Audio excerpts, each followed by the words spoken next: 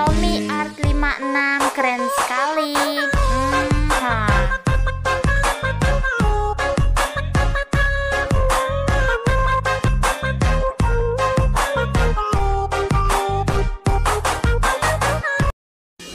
Dan kita menamai grup kita adalah Badan Intelijen Bokep Dunia.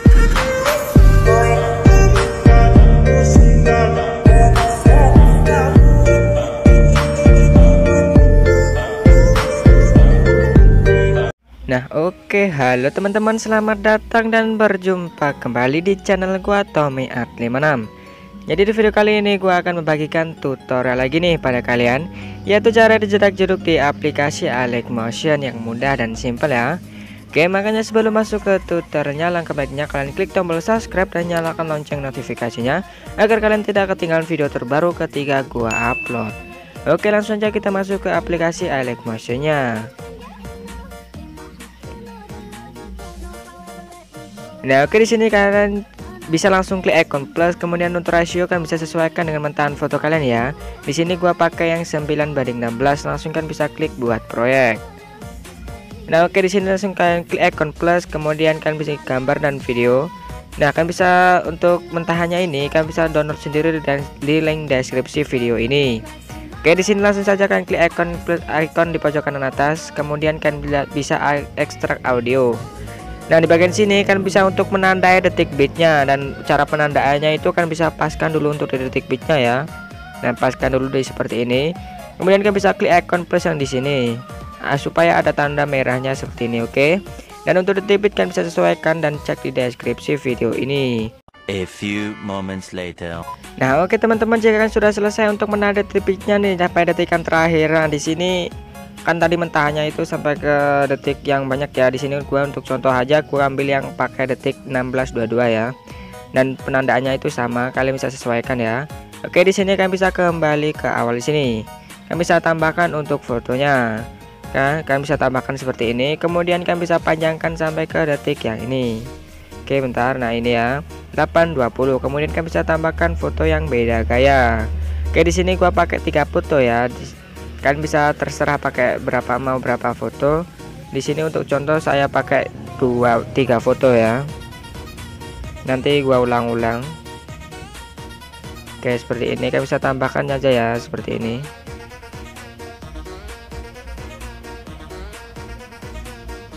Nah kita paskan dulu bentar. Di sini bagian sini kalian bisa dipaskan di titik yang ini. Oke di sini kita tambahkan foto lagi bentar bentar bentar kita ulang. Nah, di bagian sini kan bisa klik icon plus kemudian tambahkan foto lagi. Nah seperti ini ya. Nah kemudian di bagian sini kan bisa potong ya aja ya. Nah seperti ini. Oke kita apply dulu pas apa tidak.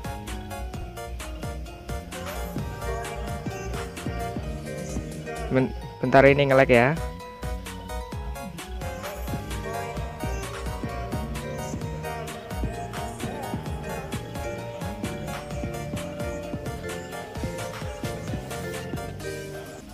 Nah, oke di sini sudah pas ya. Langsung saja kita masuk ke bagian foto yang sini. Nah, di bagian sini ya, dikira-kirakan ke detik yang sini. Kita kita kasih efek yang usap radial ya. Kalian bisa klik dan ka kan, kalian bisa pilih yang tambahkan foto dulu ya. Tambahkan foto yang sama kayak yang di detik bit pertama. Oke, sisanya kan bisa hapus seperti ini. Nah, kemudian kalian bisa klik efek. Kemudian kalian bisa tambahkan efek ya masuk ke bagian pencarian ya di sini klik saja. Kemudian kita bisa klik yang namanya usap radial ya benar usap radial. Nah ini ya yang nomor dua kalian bisa klik. Kemudian kalian bisa klik pengaturan standar. Kemudian di usap radial ini untuk progresnya akan buat menjadi 180 oke bentar 180 ya. Nah seperti ini. Untuk di bagian sudut mulai untuk sudut mulai kalian buat menjadi min 30 dulu negatif 30 ya. Nah seperti ini. Kan bisa scroll ke bawah dan sini kan bisa klik kembali. Kemudian klik efek kemudian kan bisa tambahkan efek. Kan bisa masuk ke gambar dan tepi tambahkan efek yang namanya tepi listrik. Kemudian klik pengaturan standar. Dan di bagian tepi listrik ini untuk jaraknya kalian buat menjadi nol. Turunkan menjadi 0 ya kemudian untuk di bagian sini yang thickness ini kami buat menjadi 825 ya. Naikkan. Nah seperti ini. Oke seperti ini. Kemudian untuk di bagian detail kalian buat menjadi 1,52 nah seperti ini. Untuk di bagian distorsi kalian buat menjadi 0,44 Nah, oke okay, seperti ini. Untuk di bagian warna. Di bagian warna itu terserah kalian. Di sini gue pakai yang ini. Kalian bisa scroll ke bawah ya. Scroll ke bawah. Kemudian untuk di bagian sheet, untuk di bagian sheet ini kalian bisa tambahkan kunci keyframe di awal ya. Tambahkan kunci keyframe, tekan tandanya taruh paling kiri, kemudian tekan kunci kunci keyframe lagi kan buat menjadi 0,22 ya. Oke, seperti ini tekan tandanya taruh paling kanan kemudian kalian bisa scroll ke bawah nah untuk warna yang bawah ini kalian bisa klik yang sama seperti tadi. Oke kalian bisa klik kembali. Ini kalian bisa klik kembali kemudian kalian bisa gandakan yang ini. Kalian bisa klik icon plus kemudian kalian bisa gandakan satu layar. Nah oke seperti ini ya. Kalian bisa masuk yang di atasnya. Kemudian kalian ubah untuk yang usap radial untuk sudut mulainya. Untuk sudut mulai kalian buat menjadi negatif 209 ya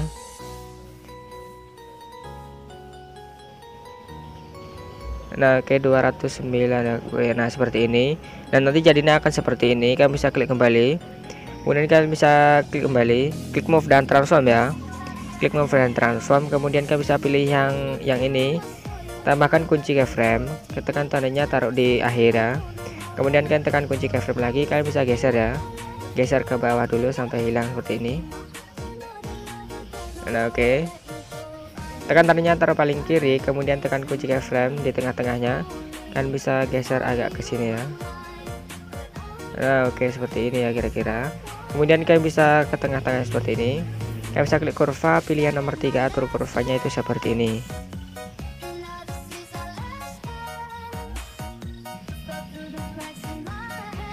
Oke kalian bisa klik kembali kemudian kalian oke bentar Nah untuk contoh hasil sementara itu seperti ini ya. Nah oke okay. kalian bisa lakukan itu di potongan yang bawah dan di sini.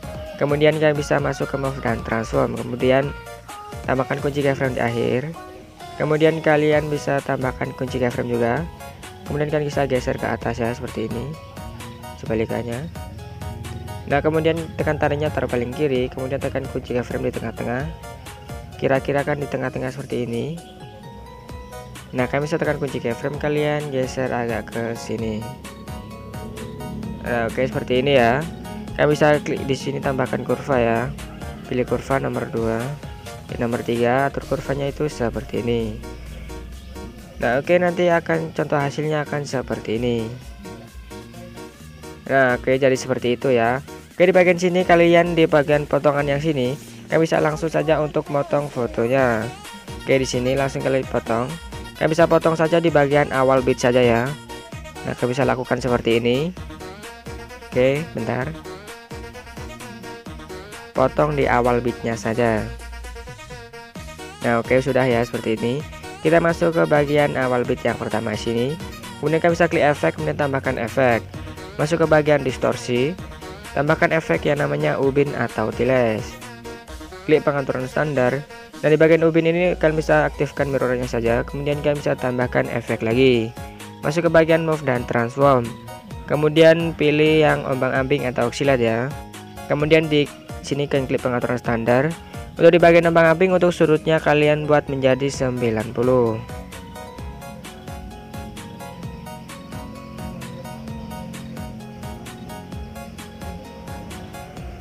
Oke 90,0 ya untuk di bagian frekuensi kalian buat menjadi 3,45 Oke 3,45 ya bentar. Oke seperti ini untuk di bagian magnitude kalian bisa tambahkan kunci keyframe kemudian buat menjadi 168 Oke 168 ya seperti ini. Tekan taringnya taruh paling kiri kemudian tekan kunci keyframe lagi kalian buat menjadi 0 tekan taringnya taruh paling kanan kemudian kalian bisa di sini kalian bisa klik yang titik tiga sini. Kemudian kalian bisa pilih yang gandakan. Masuk ke ambing yang bawah. Kemudian untuk sudutnya kalian buat turunkan menjadi 45 ya. Nah bentar. Oke 45 seperti ini. Kemudian untuk di bagian frekuensi kalian buat menjadi 7,20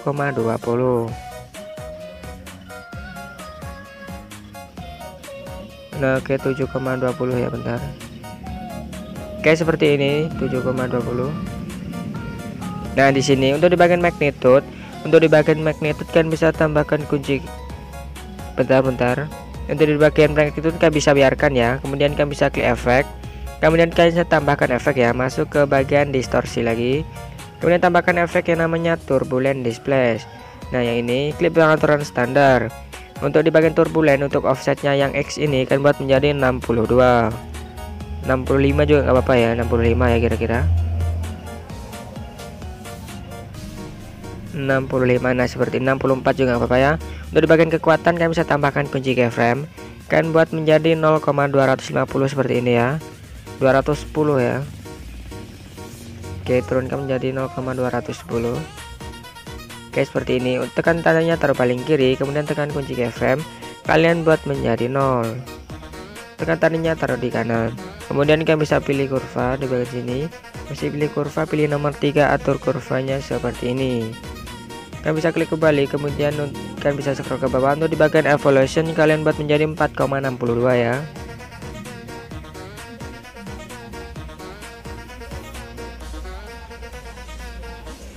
Nah, oke 4,62 seperti ini ya Oke itu untuk di bagian logo kalian bisa pilih yang X ya. Kemudian untuk di bagian skala kalian bisa tambahkan kunci keyframe dulu. Kalian buat menjadi 0,50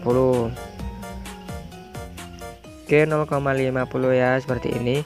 Tekan taruhnya taruh di kiri kemudian tekan kunci keyframe lagi. Kalian buat menjadi 2,30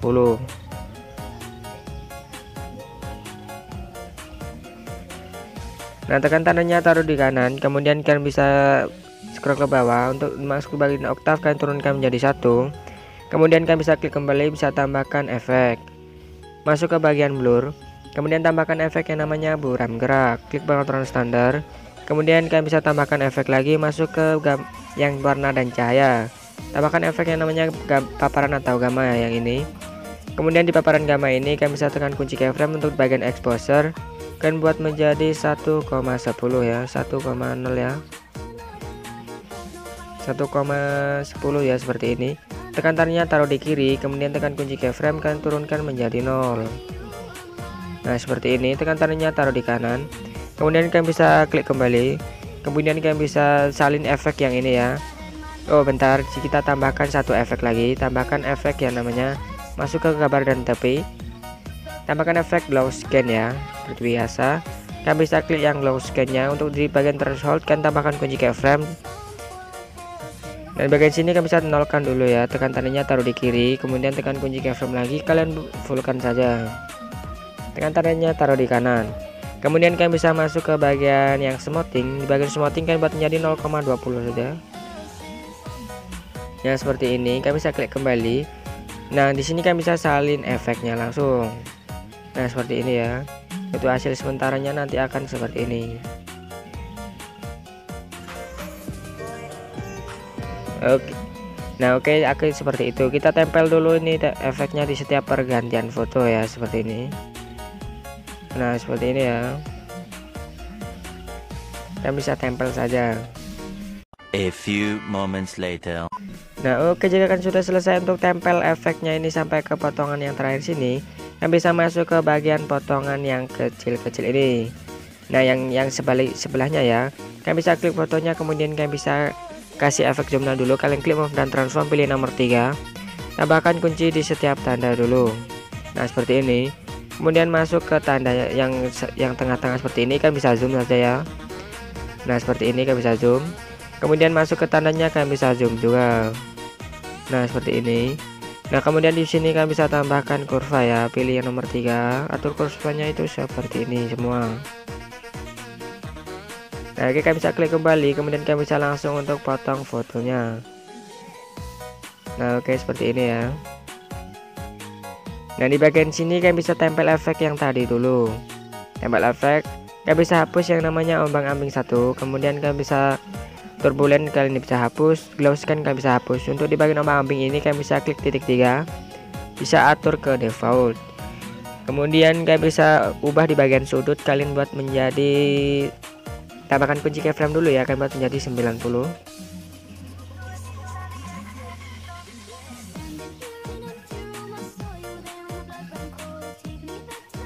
Nah oke 90 seperti ini tekan tanya taruh di kiri. Kemudian kalian bisa tekan kunci keyframe kalian buat menjadi negatif 90 balikannya ya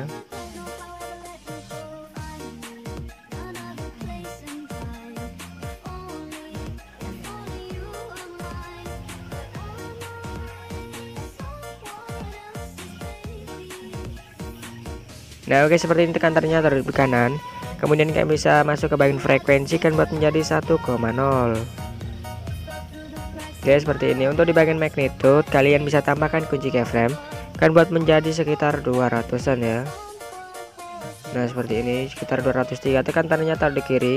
Kemudian tekan kunci keyframe lagi kalian bisa buat menjadi 0 tekan tandanya taruh di kanan. Kemudian kalian bisa klik kembali tambahkan efek tambahkan efek masuk ke bagian move dan transform tambahkan efek yang namanya ayun atau swing ini. Klik pengaturan standar dan di bagian ayun sini untuk di bagian frekuensi kan buat menjadi 1,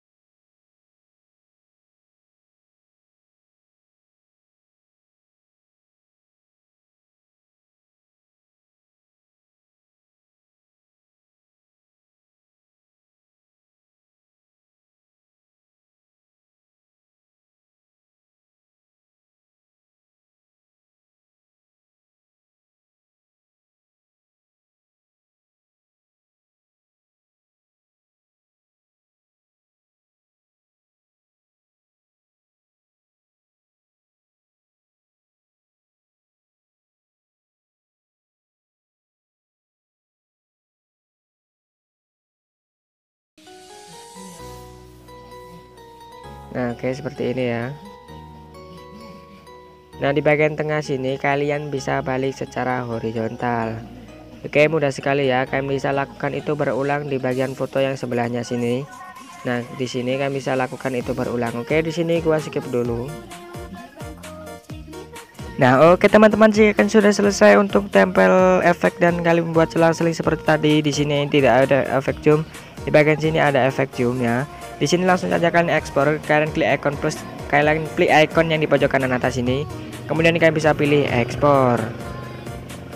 Nah seperti ini. Oke terima kasih buat kalian yang sudah tonton video ini sampai akhir. Jangan lupa like, comment, and subscribe Agar gue lebih bersemangat lagi untuk buat konten berikutnya. Oke sampai jumpa di video gue selanjutnya